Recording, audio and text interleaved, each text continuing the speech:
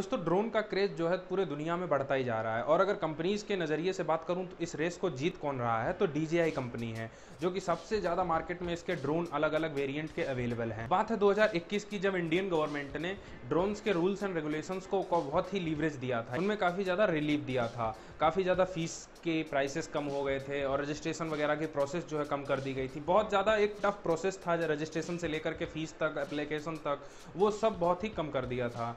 उसके बाद DJI जैसी कंपनीज़ के पास तो पंख निकल आए थे जैसे। इन्होंने इंडियन मार्केट में अटैक करना शुरू कर दिया। अटैक का मतलब यह है कि अलग अलग टाइप के वेरिएंट्स उतारना स्टार्ट कर दिए और ज़्यादा मतलब ऑफ़र देना मतलब कैप्चर करने स्टार्ट हो गए। जैसे कि रेडमी रियलमी फ़ोन्स के मार्केट में एकदम कैप्चर कर चुकी हैं। वही एकदम फैक्टर अपनाने लगी थी। फिर कुछ समय पहले ही अभी मैंने एक वीडियो बनाया था जिसमें कि इंडियन गवर्नमेंट ने इम्पोर्ट पर ही बैन लगा दिया। अब सबसे ज़्यादा दिक्कत आई बाहरी कंपनीज़ पर कि हम इस, हम अपने ड्रोन्स को इंडिया में कैसे ले जाएँगे और इसको मार्केट सेल कैसे करेंगे।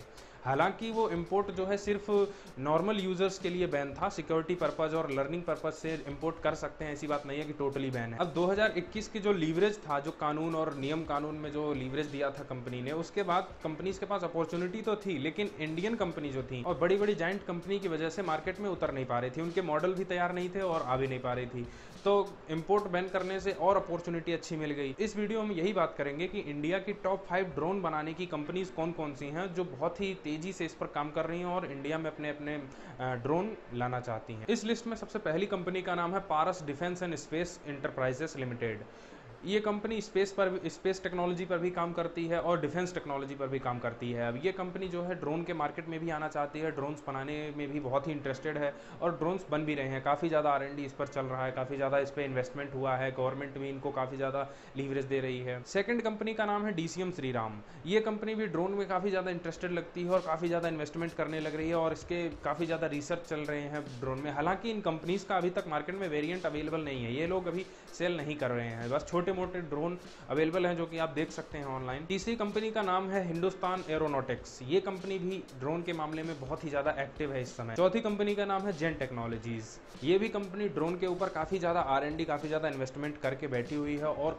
मौके का इंतज़ार कर रही है कि कब मार्केट में लॉन्च करे। पांचवी कंपनी का नाम है रतन इंडिया एंटरप्राइजेस इस कंपनी में बहुत ही बड़े पैमाने पर इन्वेस्टमेंट हुआ है, काफ़ी बड़े बड़े लोगों ने इन्वेस्टमेंट किया हुआ है और इस कंपनी से इन पाँचों में से सबसे ज़्यादा उम्मीद लगाई जा सकती है कि टॉप क्वालिटी के ड्रोन हमें देखने को मिलेंगे जो कि रतन इंडिया इंटरप्राइजेस लिमिटेड से देखने को मिलेंगे।